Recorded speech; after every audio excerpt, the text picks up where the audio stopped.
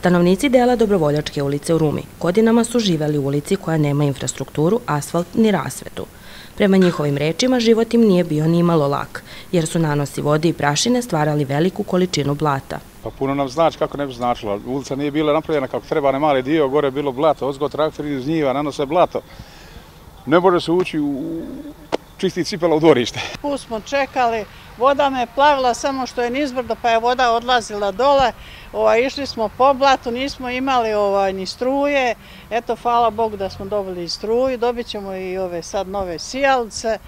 Biće bolje nego što je bilo. Nećemo imati prašine, imat ćemo ulicu lepu.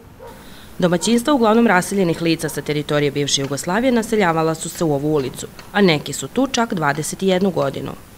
Pa odvijat će se život drugčije. Ipak je lepše vidjeti, a i ukras je za opštinu. Za nas narod mnogo znači, a i za državu ipak je viđeno šta je urađeno. Lokalna samouprava prepoznala je ovaj problem, te kada su se stekle mogućnosti uložila značajna sredstva u kompletnu rekonstrukciju kako puta, tako i rasvete. Radove obišao predsjednik opštine Ruma Slađan Mančić. Kao što reče jedan meštanin iz ove ulice, 21 godinu čovjek čeka da, da se ovi radovi urade.